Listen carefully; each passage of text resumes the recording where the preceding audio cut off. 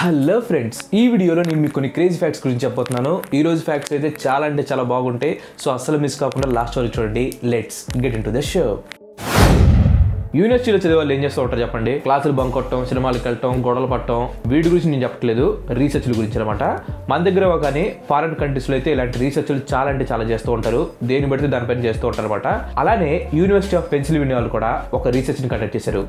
And ఆ research ఎవరి మీద తెలుసా? బర్డ్ మ్యాన్ అంటే గుండు ఉండొచ్చు చూసారా? వాళ్ళ మీద రీసెర్చ్ చేశారు.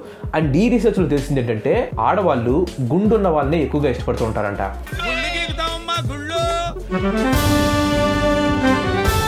సైంటిస్ట్ ఆల్బర్ట్ అనే ఒక వ్యక్తి ఒక స్టడీని కండక్ట్ చేశాడు. అండ్ ఈ స్టడీలో కొంతమంది అమ్మాయిలకి ఈయన కొన్ని ఫొటోస్ చూపించడం జరిగింది. ఈ ఫొటోస్ చూసిన ఆడవాళ్ళు వాళ్ళలో ఎవరికైతే గుండుందో వాళ్ళకే ఓటేశారంట. ఎందుకంటే వాళ్ళు చూడటానికి వేరే వాళ్ళకంటే స్ట్రాంగ్గా ఉన్నారంట. అండ్ బాగా డామినేటింగ్గా కూడా కనిపిస్తున్నారంట. సో అందుకోసం చెప్పి చాలా మంది గుండున్న మగవాళ్ళని ఎక్కువగా ఇష్టపడుతూ ఉంటారంట. కేవలం ఇతను ఒక్కడే కాదు సార్లాండ్ యూనివర్సిటీకి చెందిన ఇంకో వ్యక్తి కూడా ఇలాంటి ఒక రీసెర్చ్ చేశాడు. కాకపోతే ఆయన ఈయనకంటే ఒక మెట్టు ఎక్కువ. ఇతను వచ్చేసి ఇరవై వేల మంది మహిళలతో ఈ రీసెర్చ్ని కండక్ట్ చేశాడు. సో ఆబ్వియస్గా ఆ లో కూడా అందరూ గుండున్న మగవాళ్ళనే ఎక్కువగా ఇష్టపడ్డారట. సో తప్పులేదు జానిమామకి ఎంత క్రేజ్ ఉండటంలో ఎలాంటి తప్పులేదు అన్నా కొంచెం గుండి చేయన్నా ట్రాఫిక్ జామ్స్ అనేవి ఎంత చిరాకో నేను మీకు ప్రత్యేకంగా చెప్పాల్సిన అవసరం లేదు.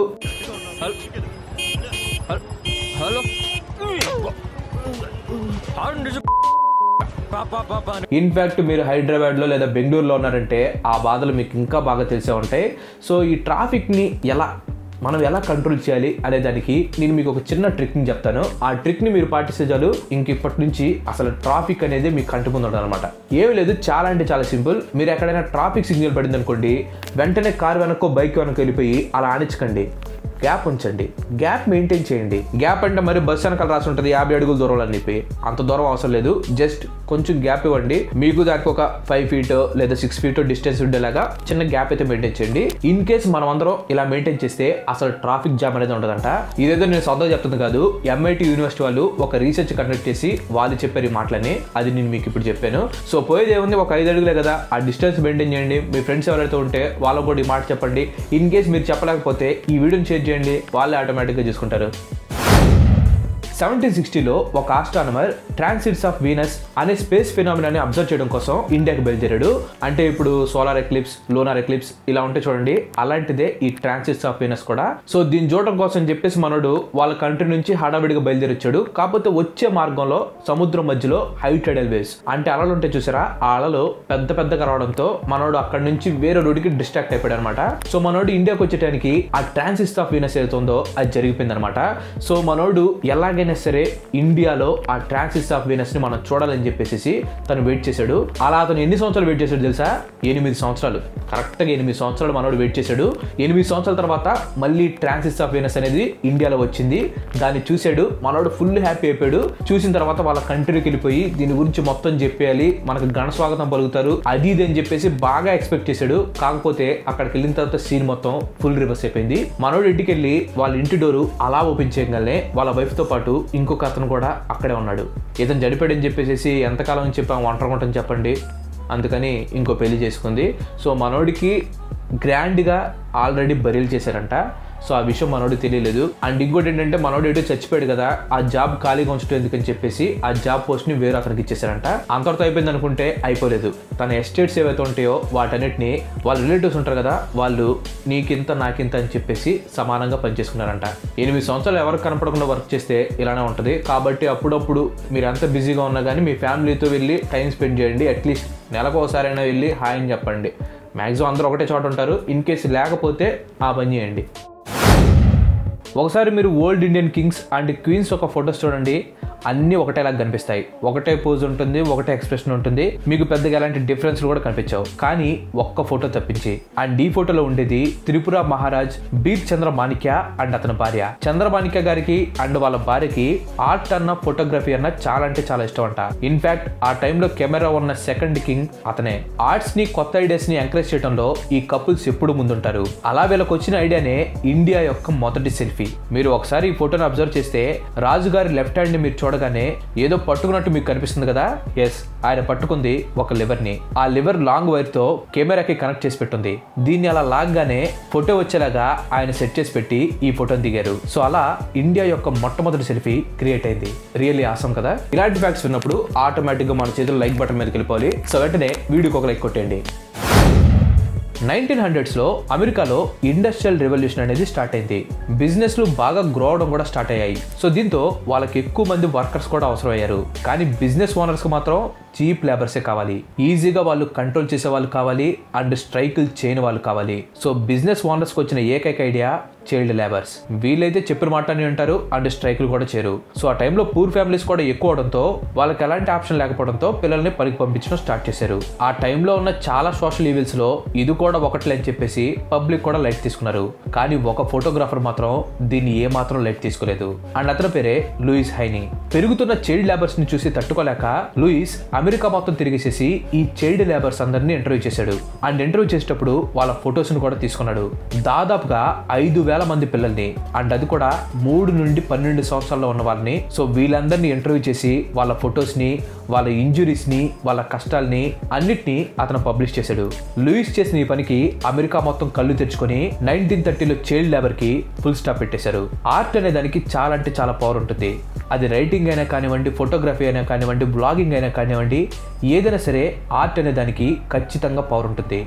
దాంతో ఇతరులకు మనం చాలా అంటే చాలా హెల్ప్ చేయొచ్చు. లూయిస్ తన ఆర్ట్తో చైల్డ్ లేబర్ని అందం చేశాడు. అలాగే మన దగ్గర కూడా ఏదో ఒక ఆర్ట్ ఉంటుంది. దాన్ని మాత్రం ఎట్టి పరిస్థితుల్లో వేస్ట్ చేసుకోకండి. సెప్టెంబర్ ఒకటి నైన్టీన్ ఎయిటీ ఫైవ్లో ప్రపంచం మొత్తం ఒక ఎగ్జైటింగ్ న్యూస్ని వినింది. అదే డిస్కవరీ ఆఫ్ టైటానిక్ అండ్ ఆ టైంలో ఇది చాలా అంటే చాలా ఎగ్జైటింగ్ న్యూస్ అండ్ ఈ టైటానిక్ని డిస్కవర్ చేసింది ఒక టీమ్ ఆఫ్ సైంటిస్టులు అండ్ యుఎస్ నేవీ కానీ యుఎస్ నేవీకి ఎప్పుడో మునిగిపోయిన టైటానిక్ని డిస్కవర్ చేయాల్సిన అవసరం ఏంటి? అసలు వాళ్ళకి టైటానిక్తో పని ఏంటి? అని చాలా క్వశ్చన్స్ వచ్చాయి. నిజానికి టైటానిక్తో వాళ్ళకి ఎలాంటి పని లేదు. దీని వెనకాల ఒక పెద్ద స్టోరీ ఉంది. నైన్టీన్ సిక్స్టీస్లో యుఎస్కి చెందిన రెండు న్యూక్లియర్ సబ్మెరైన్స్ నార్త్ అట్లాంటిక్ ఓషన్లో మునిగిపోయాయి. యుఎస్ నేవీ ఆ టైంలో వాటిని కనిపెట్టలేకపోయింది. కట్ చేస్తే nineteen eighty two US navy commander Robert and తన టీం కలిసి ఒక రోబోటిక్ సబ్మెరైన్ ప్రోటోటైప్ని డెవలప్ చేశారు. ఈ రోబోటిక్ సబ్మెరైన్ ఏదైతే ఉందో అది మునిగిపోయిన షిప్స్ని కనిపెడుతూ ఉంటుంది. సో ఈ ప్రోటోటైప్తో రాబర్ట్ తన సుపీరియర్ దగ్గరికి వెళ్ళి ఫండింగ్ కూడా అడిగాడు. ఈ ఐడియా నచ్చిన సుపీరియర్స్ వెంటనే ఓకే చెప్పేసి ఫండ్స్ కూడా ఇవ్వడం స్టార్ట్ చేశారు. కానీ వాళ్ళు పెట్టిన కండిషన్ ఏంటంటే ఫస్ట్గా నువ్వు నైన్టీన్ సిక్స్టీలో మునిగిపోయిన రెండు సబ్మెరైన్స్ ఏవైతే ఉన్నాయో వాటిని కనిపెట్టాలని చెప్పేసి రాబర్ట్కి చెప్పారు. దీంతో రాబర్ట్ కూడా ఓకే అనేసాడు. అంతా సెట్ అయిపోయింది. కానీ వీళ్ళు గనక ఇలా ఈ రెండు సబ్మెరైన్స్ని వెతుకుతున్నాం అనే న్యూస్ని గనక బయట పెట్టారనుకోండి వెంటనే రష్యా వాళ్ళు ఆ రోబోటిక్ సబ్మెరైన్ని ట్రాక్ చేసి ఆ రెండు సబ్మెరైన్స్ని వెతకడం స్టార్ట్ చేసేస్తారు. అందుకని అమెరికా వాళ్ళు చాలా అంటే చాలా సీక్రెట్గా ఈ మిషన్ని స్టార్ట్ చేశారు. బట్ సీక్రెట్గా మిషన్ చేసినా కానీ అందరికి తెలిసిపోతుందనే ఉద్దేశంతో ఈ మిషన్ గురించి బయటికి తెలియకుండా ఉండడం కోసం యుఎస్ నేవీ వాళ్ళు అండ్ గవర్నమెంట్ ఈ మిషన్కి వేరే పేరు పెట్టారు. అదే ఆపరేషన్ టైటానిక్. మునిగిపోయిన టైటానిక్ని వెతుకుతున్నానని చెప్పి ప్రపంచం మొత్తానికి తెలియజేసి ఈ మిషన్ని స్టార్ట్ చేశారు. మొత్తానికి ఆ రోబోటిక్ సబ్మెరైన్తో వాళ్ళ రెండు సబ్మెరైన్స్ని వాళ్ళు ఈజీగా కనిపెట్టేశారు. అండ్ ఇంకా మిషన్లో పన్నెండు రోజులు మిగిలిపోయాయి. ఈ పన్నెండు రోజులు ఏం చేద్దాం అని ఆలోచిస్తున్నప్పుడు టైటానిక్ నే కనిపెడితే సరిపోతుందిగా అని చెప్పి రాబర్ట్ అనుకున్నాడు. అండ్ అలా యుఎస్ నేవీ ఎప్పుడో మునిగిపోయిన టైటానిక్ షిప్ని కనిపెట్టింది. ఈ ఫ్యాక్ట్ హైలైట్గా ఉంటుంది. ఎయిటీన్ సిక్స్టీ టూలో అమెరికాలో సిలో జరుగుతుందన్నమాట. ఈ టైంలో టెన్నిస్లోని సిలోహ్లో కొంతమంది సోల్జర్స్ బాగా గాయాలతో యుద్ధ భూమిలో అలా పడిపోయారు. అండ్ అదే టైంలో బాగా వర్షం కురవడంతో రెండు రోజుల పాటు వాళ్ళు ఎక్కడికి వెళ్ళకుండా అలానే మట్టిలో ఉండిపోయారు.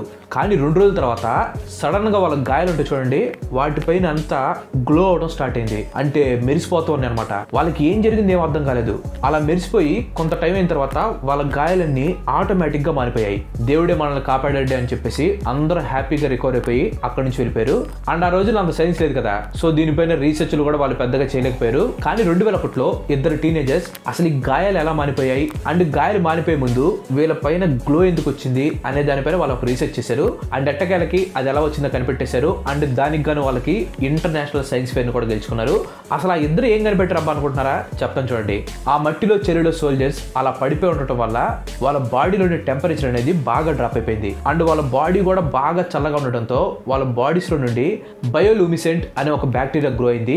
ఈ బ్యాక్టీరియా ఏదైతే ఉందో అది దెబ్బల మీద ఉన్న బ్యాడ్ అండ్ హార్మ్ఫుల్ బ్యాక్టీరియా మొత్తాన్ని చంపేసింది.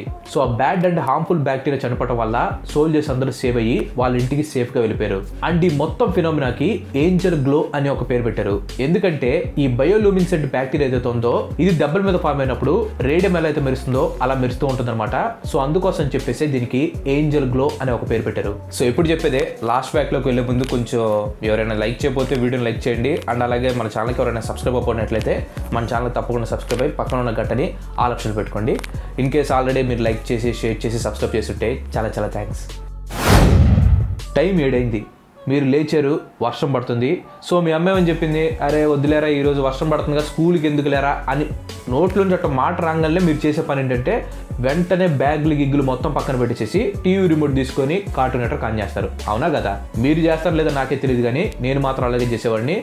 ముఖ్యంగా నైన్టీ కిడ్స్ ఎవరైనా సరే ఇదే పని చేసేవాళ్ళు. ఆ రోజుల్లో మా డెడికేషన్ అలా ఉండేది మరి. విషయం ఏంటంటే ఈ రోజుతో కార్టూన్స్తో పోల్చుకుంటే ఆ రోజు అన్ని మాస్టర్ పీస్ అంతే.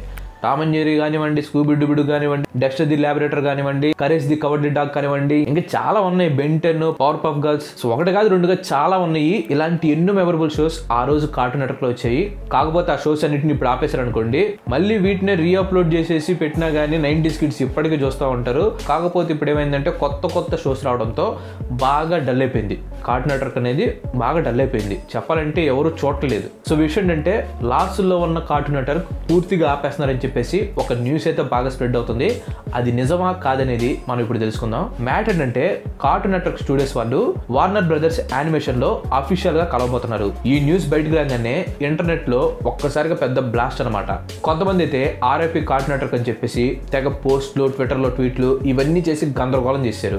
ఇంకొంతమంది అయితే వాళ్ళ మెమరీస్ని వాళ్ళ చైల్డ్హుడ్ మెమరీస్ని బాగా గుర్తించుకొని కార్టూన్ నెట్వర్క్కి థ్యాంక్స్ చెప్పడం ఇంక లేదని చెప్పేసి బాధపడటం ఇలాంటి పోస్టులు కూడా పెడుతూ వచ్చారు. సో ఇలా ఆర్ఐపి కార్టూన్ నెట్వర్క్ అనేది ట్రెండింగ్లో చూసి వెంటనే కార్టూన్ నెట్వర్క్ వాళ్ళు రెస్పాండ్ అయ్యారు. మేము ఇంకా చచ్చిపోలేదురా బాబు మేము ఇక్కడే ఉన్నాం ఎక్కడికి వెళ్ళలేదు చూపించి చెప్పారు. కానీ వార్నర్ బ్రదర్స్ ఇప్పటికే కార్టూన్ నెట్వర్క్ ప్రొడక్షన్లో ఉన్న ఎనభై రెండు మంది ఎంప్లాయీస్ని తీసేసిందంట. ఇది ఎంతవరకు నిజమనేది అఫీషియల్గా అయితే న్యూస్ అయితే బయటికి రాలేదు. బట్ ఇలాంటి ఒక రూమర్ అయితే స్ప్రెడ్ అవుతుంది. కానీ కార్టూన్ నెట్వర్క్ వార్నర్ బ్రదర్స్లో కలవటం గుడ్డా బ్యాడ్ అంటే నాకైతే బ్యాడ్ అని అనిపిస్తుంది. ఎందుకంటే cartoon network and Warner Brothers రెండు చాలా అంటే చాలా పెద్ద నెట్వర్క్స్ అండ్ క్లియర్గా కార్టూన్ నెట్వర్క్కి క్రేజ్ తగ్గిపోతుంది కాబట్టి వార్నర్ బ్రదర్స్లో కలిసిపోతుందని చెప్పి అందరికీ తెలిసిపోతుంది. మరి ఇలా కలిసిన తర్వాత వార్నర్ బ్రదర్స్ ఎలాంటి చేంజ్ తీసుకొస్తుంది అనేది మనం వెయిట్ చేసి చూడాల్సిందే. అండ్ వీళ్ళు కలవటం ఎందుకు బ్యాడ్ అంటున్నాడంటే ఇప్పుడు కార్టూన్ నెట్వర్క్ కంట్రోల్ మొత్తం మెయిన్గా వార్నర్ బ్రదర్స్ దగ్గరికి వెళ్ళిపోతుంది. సో వాళ్ళు ఫ్యూచర్లో కార్టూన్ నెట్వర్క్ పేరు తీసేసి వేరే పేరు పెట్టినా కానీ మనం ఆశ్చర్యపోవాల్సిన అవసరం లేదు. సో ప్రజెంట్ అయితే కార్టూన్ నెట్వర్క్ అయితే ఎక్కడికి పోవట్లేదు. జస్ట్ వార్నర్ బ్రదర్స్లో కలిసిపోయింది. ఇన్ కేస్ వార్నర్ బ్రదర్స్ బాగా ఆలోచించి ఓల్డ్ కార్టూన్స్ని మళ్ళీ ప్లే చేద్దాం. అప్పుడు సక్సెస్ అవుతుంది అని చెప్పి అనుకుంటే మాత్రం ఖచ్చితంగా కార్టూన్ నెట్వర్క్ క్రేజ్ మాత్రం ఎక్కడికి వెళ్ళిపోతుంది? నో డౌట్ అనమాట అందులో. పిల్లలు చూడకపోయినా కానీ నైన్టీ కిడ్స్ మాత్రం ఖచ్చితంగా ఆ షోస్ని పెట్టుకొని కంటిన్యూస్గా చూస్తారు. ఇందులో మాత్రం ఎలాంటి డౌట్ లేదు. సో దట్స్ ఇట్ గైస్ ఈ రోజు వీడియో మీకు నచ్చిందని అనుకుంటున్నాను. థ్యాంక్స్ ఫర్ వాచింగ్ ఈ వీడియో కనుక మీరు నచ్చినట్లయితే లైక్ చేయండి షేర్ చేయండి. అండ్ అలాగే మన నెక్స్ట్ ఎపిసోడ్ మిస్ కావద్దు అనుకుంటే మన ఛానల్ తప్పకుండా సబ్స్క్రైబ్ అవ్వండి. ఇంకో మంచి ఎపిసోడ్తో మళ్ళీ కలుద్దాం. Till then bye bye have next day